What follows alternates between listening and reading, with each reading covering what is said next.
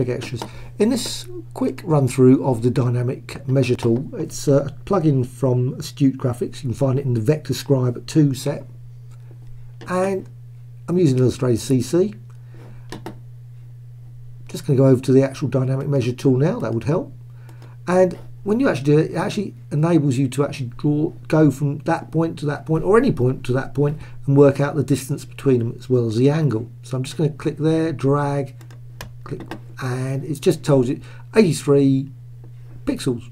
Now I'm using pixels, and one of the things you might find if you go to the over here, and you look for different measurement, you know, there is no option, unfortunately, for millimeters or centimeters.